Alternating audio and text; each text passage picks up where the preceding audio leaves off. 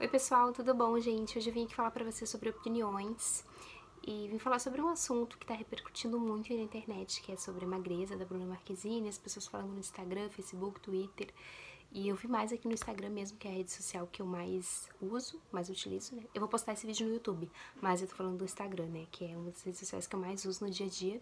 E assim, gente, muita gente se metendo, dizendo que ela tá muito magra, fazendo piadinha, coisinha aqui, coisinha ali, e até pessoas querendo se promover em cima disso, né? E eu acho isso muito chato, porque ela não pediu opinião de ninguém e ninguém tem que estar tá se metendo, sabe? E eu vejo isso na minha vida muitas vezes, que as pessoas se metem e dão a opinião delas e o pitaco.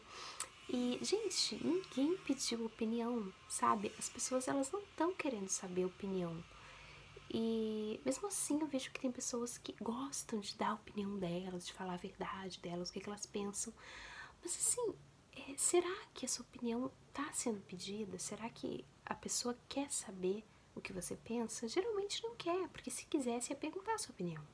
Né? Então eu, quando eu quero a opinião de alguém, eu chego na pessoa ou eu abro uma caixinha lá no, no Instagram de pergunta, peço a opinião das pessoas para elas falarem. Eu também não me ofendo se as pessoas vierem dar opinião sobre alguma coisa que eu falei ou o que eu penso, algum pensamento que eu expus, né? Só que a questão é que as pessoas querem enfiar a verdade delas boca abaixo.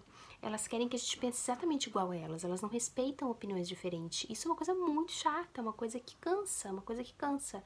Eu sou uma pessoa anônima, uma pessoa normal, mas eu creio que ser uma pessoa famosa deve ser muito insuportável por causa desse tipo de coisa, por causa dos pensamentos dos outros, dos julgamentos e as pessoas quererem, tipo, mandar na sua vida praticamente. Eu acho isso um absurdo e com certeza é muito cansativo. E eu queria saber de vocês, o que, que vocês pensam? Agora eu vou perguntar a opinião de vocês, né? O que, que vocês pensam sobre isso? Porque sobre as pessoas se meterem e dar pitacos e dizer o que, que elas pensam sobre as coisas. Porque muitas vezes as pessoas se metem em coisas que ninguém perguntou para elas sabe? As pessoas não querem saber a sua opinião, né? Não vai nas redes sociais as pessoas dizer o que, que você pensa sobre o que a pessoa fez. A pessoa foi lá, cortou o cabelo, tinha o cabelo comprido, cortou curtinho. Nossa, você é maluca, cortou seu cabelo, era tão lindo. Ou aconteceu com uma amiga minha já. Ela tinha o cabelo preto azulado, foi no salão, deixou o cabelo platinado. Nossa, quantas pessoas começaram pra ela. Você é maluca, seu cabelo tava lindo, destruiu teu cabelo, agora quantos anos tu vai recuperar? Gente, por favor, quem é que pediu a opinião dessas pessoas?